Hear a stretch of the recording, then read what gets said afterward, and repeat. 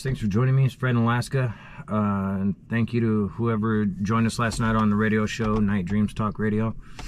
Uh, they'll have a link at their website uh, for anyone who missed it and wants to watch it. So feel free to do that. Their their link is in the the previous couple of uh, videos I put out. So what I what I wanted to share with you today um, comes from Priscilla. Uh, Priscilla self-proclaimed tag along on what happened mid 90s. Uh, very traumatic situation uh, of how things played out. So she tagged along to be basically help with everything around camp.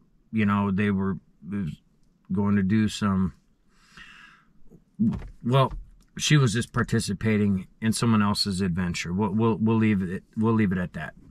So what ends up happening is is they get they're out Lake Beverly, Hard Luck Bay. Uh, I've been to that area. It's freaking beyond beautiful. I mean, gorgeous area. I mean, clear water down to the bottom, just gorgeous. Uh, it, it's it's hard to put into words how beautiful it is out there. So anyway, she's on adventure status. She she's going along for the ride, tag along, right? And she was in her mid twenties, uh, very adventurous at that time. Uh, it changed because of this. So where they end up, they park the skiff and they set up camp. Right, the total is six people.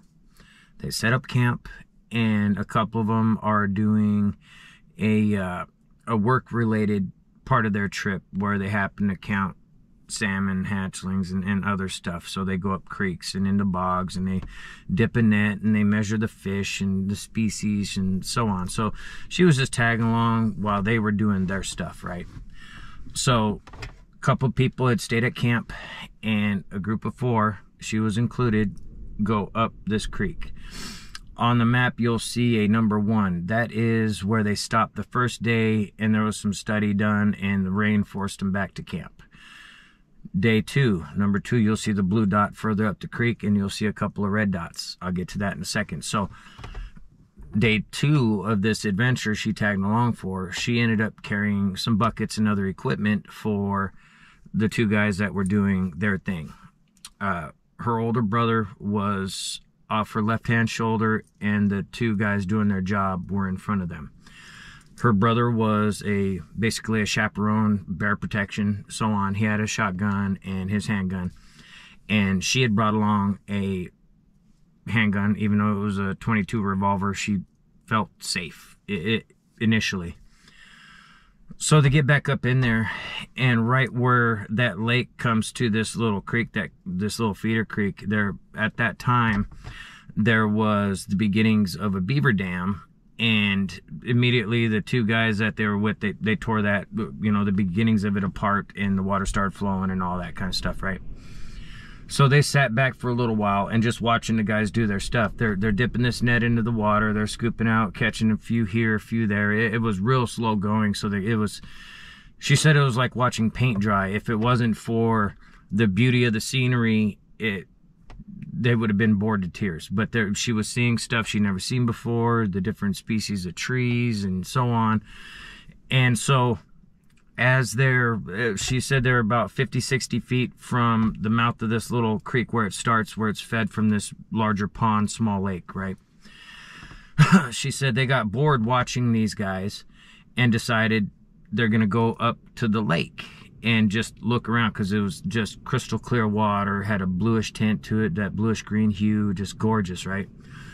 They get over there, and that's when they see the two Sasquatch, the two hairy men, across that lake, and they're looking right back at them, right?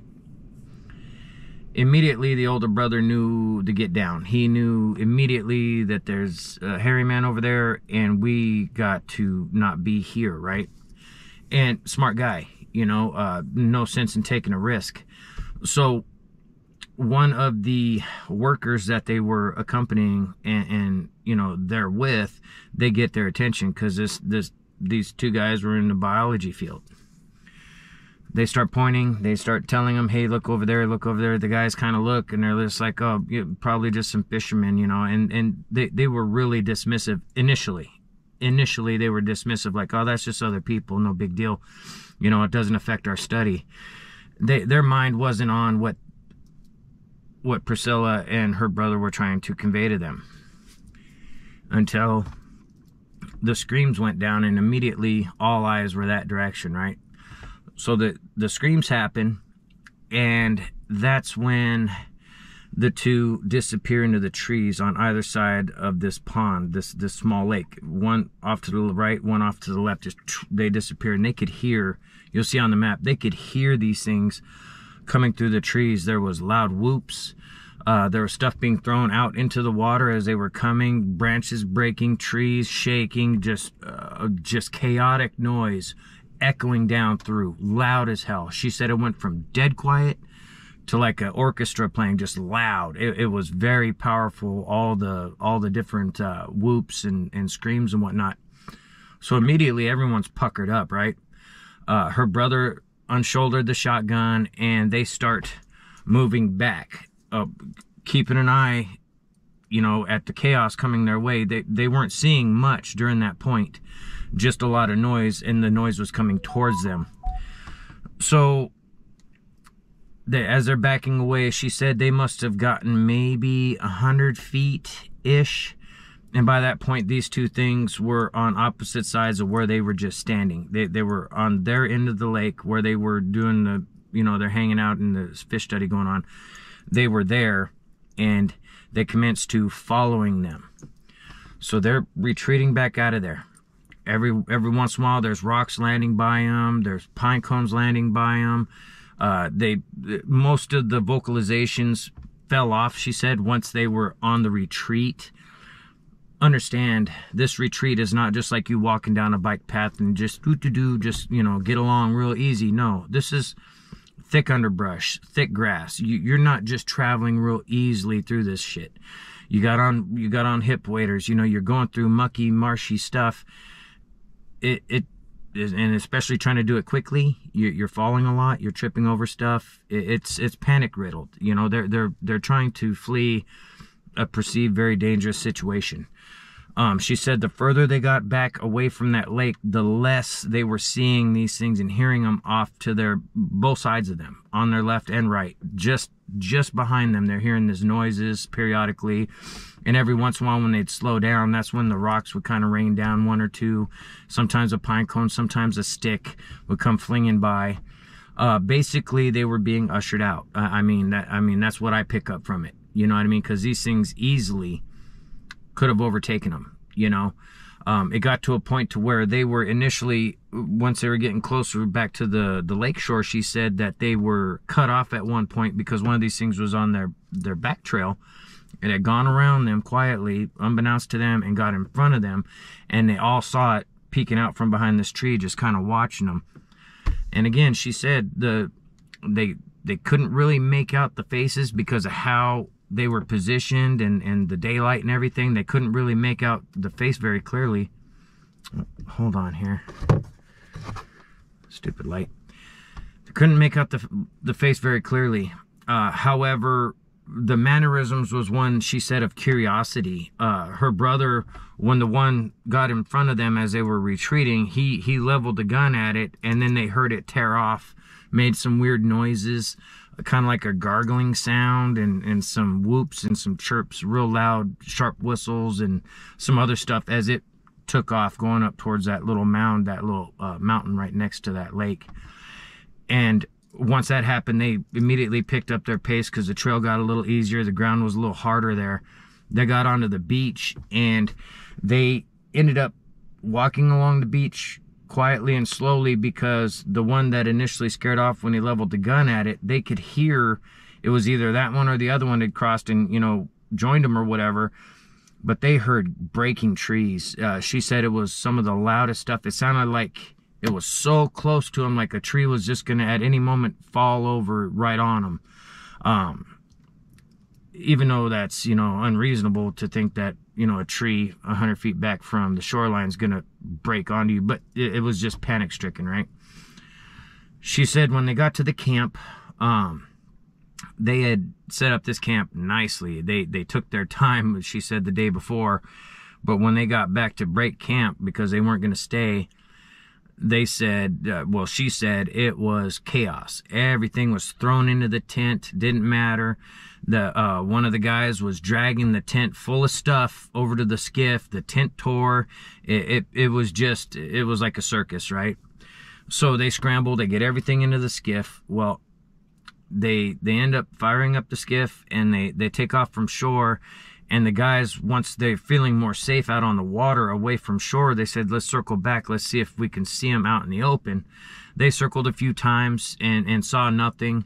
Um, at one point just as they're getting ready to leave they notice a dark spot way up on that mountain which was right there. You know i mean it, you can't tell from the topographical but it's right there in your face you know when you're when you're at that beach it's right there.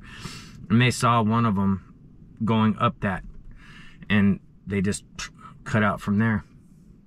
Um, one of the things she also shared was is uh, she learned that these guys uh, that they were with one of them actually had a camcorder and recorded some of this interaction this this retreat right?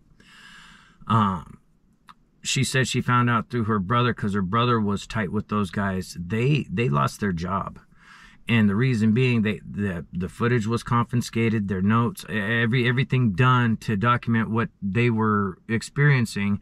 They turned it in like, hey, we we need to change the study kind of deal, right? Well, they were fired for not completing the contract they had signed to do this study, so they didn't they didn't complete the project that they signed up for because of this circumstance that they're like, hey, look at this. And they use that against them to basically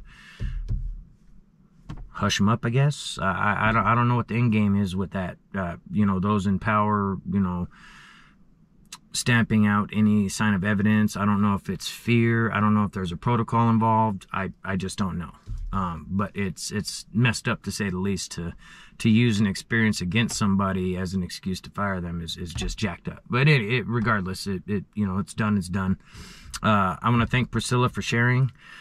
Um, Priscilla has a very severe fear of the woods. Um, so much so that she can't go by a city park without looking for a hairy man peeking at her. She she no longer lives in Alaska. Um, she she moved away decades ago um, because of this particular instance. Um, one of the things she shared that that caused her so much fear was she could tell they were watching her and not the guys. The only she said the only time she felt like one of them had their attention on a guy was when her brother leveled the shotgun at it and it left you know, they left their view into the trees. She said the whole time from spotting them across the lake, them coming around and them retreating out of there, all the way up to when they were loading up the skiff, she felt watched and she felt like she was their focus. And she said she doesn't know how, she just felt it in her spirit and it scared the living hell out of her. And she swore off the woods from that point forward. Uh, when she ended up getting back to Anchorage after that trip, uh, she said it was less than a week where she she tidied up all her loose ends and went back to her home state. Uh, I, I want to thank her for reaching out and being patient with the back and forth on the phones. I really appreciate your patience, Priscilla, with the mapping and how I was working with you trying to pinpoint the spots and everything like that. I know it was a little annoying because, you know, it's kind of hard to relive some of those things, you know, because you get brought right back into the moment. So I, I appreciate that. I appreciate your efforts. Uh, un- understand these these experiences. Um, I talk to the people a bunch of different times uh, to get their information. Uh, if they're willing to share themselves, then you know I bring them on and they share. If they're not willing to share, I, I share for them vicariously. You know, I you know I share for them. Um, I want to thank Priscilla. Thank you for your patience and thank you for sharing with everybody. And I'm sorry you, you can't go out in the woods anymore. But I, I mean, to a certain extent, I understand. Uh, thanks for joining me. Bigfoot Society and Into the Fray. I'll be on their podcast sometime here in the near future. I'll keep you guys up to date on that. And again, thanks to Gary and James for having me on last night and for all you guys who showed up and, and participated. I appreciate you. And we'll catch you guys on the next one.